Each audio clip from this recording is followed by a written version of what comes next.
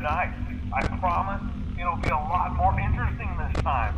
We found some, some great new relics over the weekend, and we're out tracking down a new lead right now. So uh, let me just update you real quick, then you can get to work.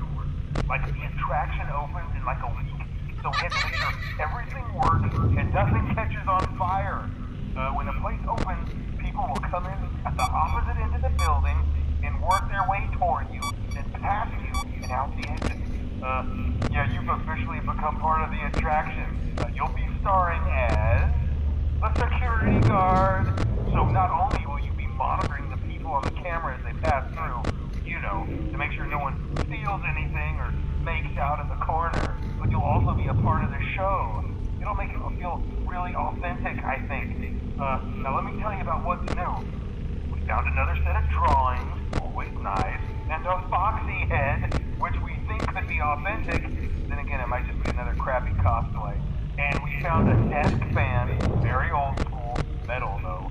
Watch the fingers. Uh, uh, right now the place is basically just, you know, flashing lights, spooky props. Uh, I honestly thought we'd have more by now. Uh, we don't have something really cool by next week, so we may have to suit you up in a furry suit and make you walk around saying, boo. uh, but, you know, like I said, we're trying to track down a good lead right now.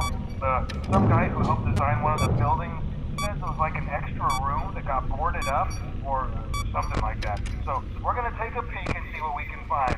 Uh, for now, just get comfortable with the new setup. Um, you can check the security cameras over to your right with the click of that blue button.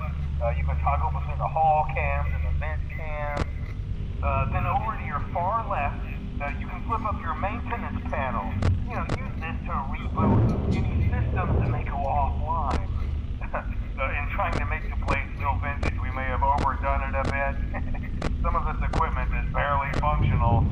Yeah, I wasn't joking about the fire. That's, that's, that's a real risk. The most important thing you want to watch for is the ventilation. Look, this place will give you the spooks, man. And if you let that ventilation go offline, then you'll start seeing some crazy stuff, man. Keep that air flowing.